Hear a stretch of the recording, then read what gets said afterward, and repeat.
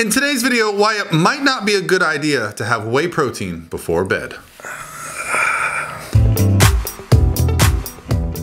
Hey guys, what's going on? This is Paul Revelia from ProPhysique.com and today I got my man Steve Bogrand. So you know what that means. Science with Steve.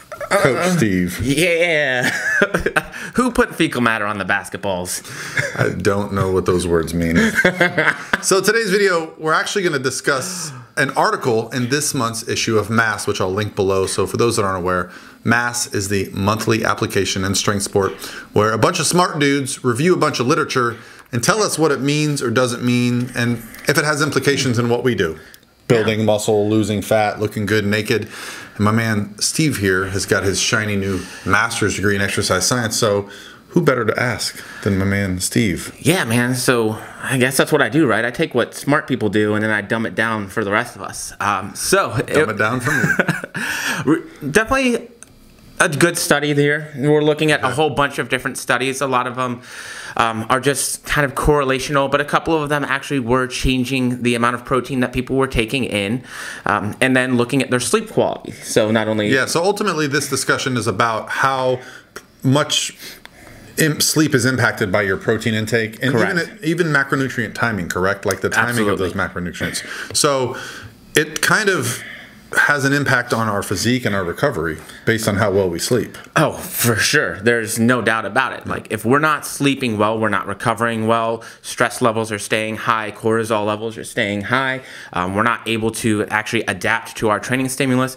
So sleep is going to be an extremely, extremely important part of the process in terms yeah. of building muscle, losing fat, and just making sure that we're, you know, healthy yeah. So let's talk a little bit about what this what this study showed and uh, what the what the article discusses. So when it comes to sleep, what was the what was the discussion regarding?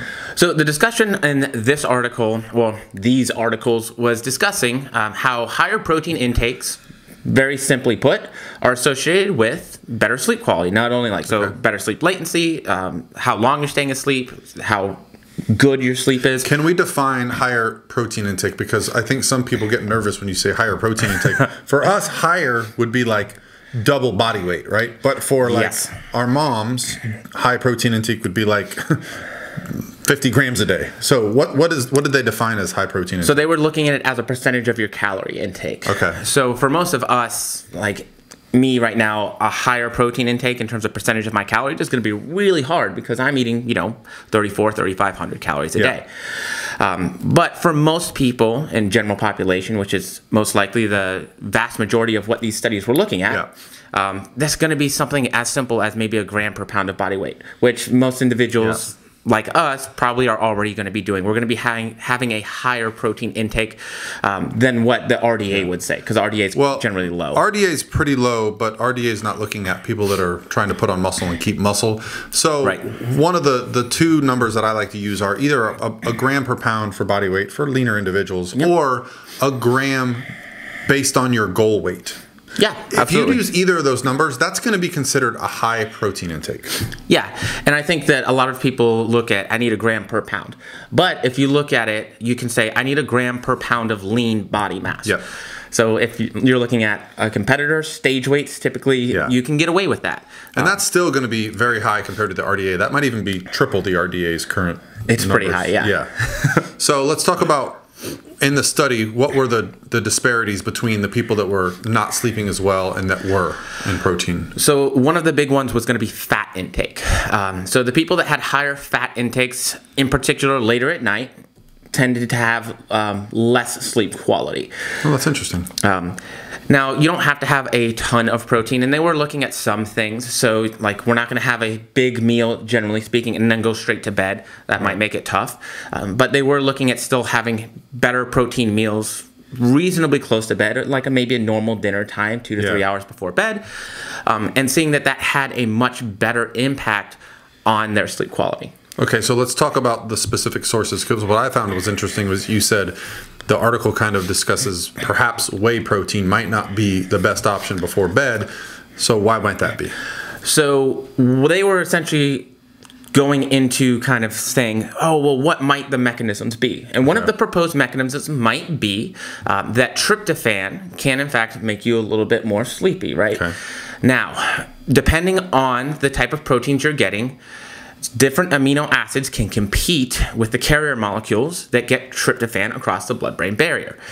So, Okay. if you're getting specific types of proteins that have a lot of amino acids that might be competing with tryptophan to get across the barrier, Okay. that might have an impact in terms of our sleep quality, ability to get to sleep, and things of the sort. Now, whey protein is very high in the branch chains leucine, isoleucine, and valine. Are those some of the things that would make it a poor choice? So they can compete. And again, this is a lot of conjecture. So Okay. we don't want to say for sure this is absolutely the certain mechanism. Well, um, it's definitely the title of this video is "Do not have whey protein before bed." But the point being is that the, their argument is that Correct. some of those specific amino acids might make it harder to fall asleep. So, what would did they mention something other than whey as an option before? Yeah, they were talking about casein or other just complete proteins. Oh, casein. Okay, so still a very high quality protein source. Yeah, absolutely. And having a complete protein, like any kind of animal protein, sorry, Natalie, um, also going to do the same things, right? You're Yeah. still going to have enough uh, amino acids. It's going to have a little bit different of amino acid Okay. profile. Um, and that can do the exact same thing with increasing our protein intake, helping us to get better sleep quality, which means better recovery, and a whole slew of other things. All right. So the takeaway from this article, which if you guys aren't already subscribed to Mass, I would highly suggest it because it's something we pour through every month um, and just kind of see what's going on out there. But the idea is sleep has such a huge impact on our ability to recover. Um, especially as me and Steve coach a lot of people that are competing in physique competitions, um, that's when we can really get specific about our sleep. So if you're having trouble falling asleep and you're having a whey protein right before bed, it might be a good option to try a different source. Yeah, absolutely. And there's nothing wrong with taking one small thing, changing it, and seeing if it makes an impact. Yeah. Because if it makes an impact for the positive, awesome. And if it doesn't, well, hey, then we just go back to what we were doing and we Yeah. keep looking. Um, but with how important sleep is in terms of your ability to hold on to muscle, to build muscle, to lose body fat, to manage stress, and everything else that's going on, it definitely bears mention to try some things out if we are having issues with sleep.